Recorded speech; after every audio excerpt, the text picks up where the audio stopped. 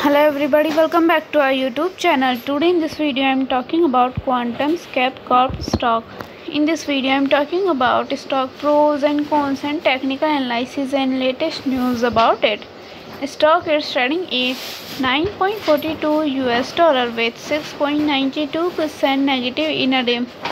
We can easily see stock was volatile for a day. The volume of stock was recently not all time high so the fundamental stock is not better for today.